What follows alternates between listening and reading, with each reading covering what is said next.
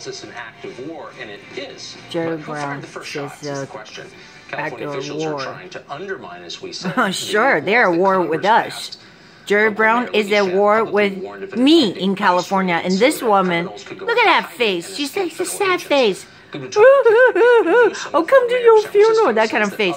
You'll come to my funeral because you're allowing all these director of ICE in New criminals, criminals to run free. Thanks for having me.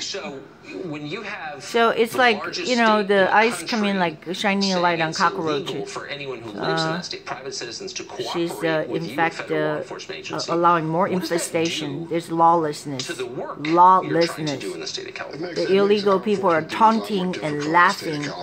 Uh, I'm scared because they're laughing at criminal me. who's a public safety Uh, in, inside uh, this market Square and the safety of a county jail. Right there, what can have you do? to It is weapons. this, boo, Now we are forced to go into neighborhoods, places of employment to locate these public safety threats on their turf. Oh, this guy's really tough. to Thomas what My ICE biggest director. concern is one of my agents will knock on a door someday, and he's not going to go home that night. And that's very unfortunate because he should have been able to, been able to apprehend that person. So the ICE agents are, forced to on his turf to arrest him. Uh, trained just like the police, I suppose. It is very dangerous But 'cause, there's uh, an irony you got all because these, uh, the state of California, its politicians are criminals are hunkering down. door I see. So they're going innocent, but you're to, saying that their policies uh, are the making you go houses or apartments. Let's be clear. The sanctuary city policies are forcing our hand, right? We, for decades, we've had access to county Uh-huh. jails. We can take, you know, someone's in the country illegally. They're sitting in a county jail, which means they're not a choir boy. Locals and state officials have made, Uh-huh. have made the decision Means to that- lock yeah. these people up. Well, Right, decades, 'cause we they're- they're robbing jail, people and shit. I was robbed aliens, by- I take them told you. And remove them from the country. Yeah. Remove Oh, from a bunch of community. But illegals. because they've limited our access to the jails, they don't share And they were information with us. underage. They said they were Now we are underage. That's what I was told later, which- uh, when the that the, uh, protecting immigrant communities the uh, mayor says it's attorney's office dropped the case. They're not. They're releasing Just the prosecutor dropped the very case. communities they live and they victimize. So they're putting the immigrant communities at, at increased danger of crime. And they I don't know how they proved that they're community at increased underage, but whatever. When we go I'm just saying, four or five people ganged up on me, you know, and you go, oh yeah, they go free. Put them in a bad position. And I, It's awful. if they went to the immigrant community and asked the immigrant community, where would you rather have ICE? In a county jail or in your neighborhood? Yeah. I guarantee they would tell you the county jail.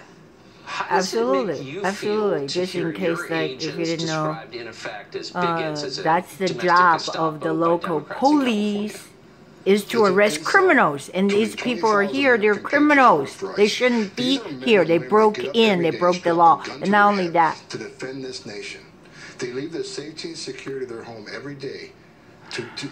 To so not only not arresting protect the them they're so lazy and- and they're enforcing the Uh, they're every time it's empowering them. This damn they're doing their job. They're sworn oath. So it's an California insult to many fine evil men and women. politics. You don't make the politicians. That's just pure So what do you- evil. how do you respond to Pure Brian Fallon, who's a former evil spokesman there's no other says that Democrats description ought to there's only reason why they're eliminating doing this so because they're they're really You know, pointing the guns ICE did, how jerry brown pointing the guns to our heads from these communities? do it this way safer they, have well they we- have disarmed us and then do it communities? You know, his way politicians, they need to talk or the victims of highway it's like to pay pay pay pay pay pay pay pay pay pay pay pay pay At the hands of, uh, uh, uh, and then we can give to all these They need to talk to- illegals because oh they're gonna vote for us so you're stupid haha The governor's sheriffs came out in support of ICE. They did a press release last night. If I could read just one sentence from their press release, The governor, Governor sheriff. Wrong on this Let's issue. see, okay. This is this, this has come from Let's see what. Hoff says. We oppose SB 54. The bill was enacted still containing significant liabilities, which Right. include restricting our communication with federal law enforcement about the release of wanted, undocumented oh, criminals from our Oh, dear. jails, including known gang members and other serious offenders. His known gang sheriffs agree members. with what ICE and DOJ saying. It's shocking. see they And just roll me around their coming on. streets That was great. Thank you for having me. Good to see you. busting things up and We have ripping newly people released off, radio killing people. transmissions from the Parkland massacre in Florida. They tell us a lot. That's next. Oh wow. Okay, that's new to me.